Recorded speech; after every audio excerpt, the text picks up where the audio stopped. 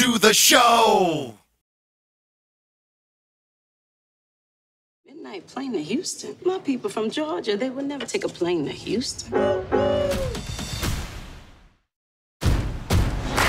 We were in the business of making dreams come true. Sold over 200 million records.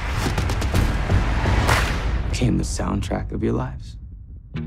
But how do you expect me to tell you how all that really happened? This is Casablanca Records, the biggest independent label anyone had ever seen. And the artists, they were family.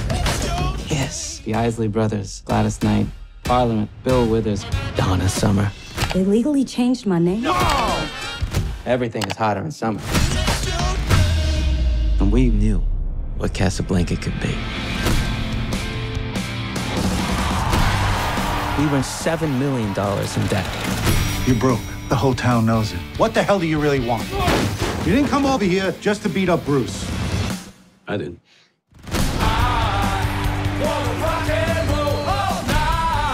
We were waging an all-out war against all the majors, all at once. You gotta be out your mind. These labels fight dirty. Motown actually put a hit on us? You're gonna need to make a phone call.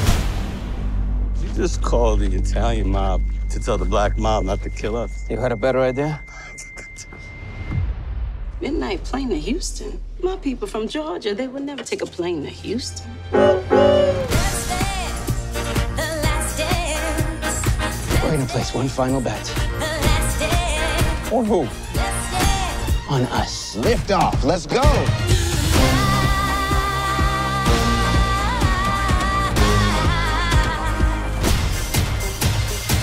You let him right about that. Why'd you sign us? You had to know how hard this was gonna be. Because two kids from Queens had dreams about being the next gods of rock. That is who you are.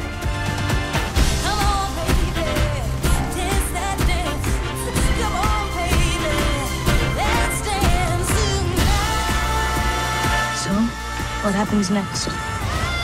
You do.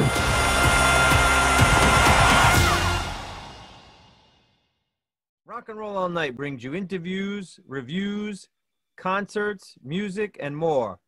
So for more Rock and Roll All Night content, click subscribe.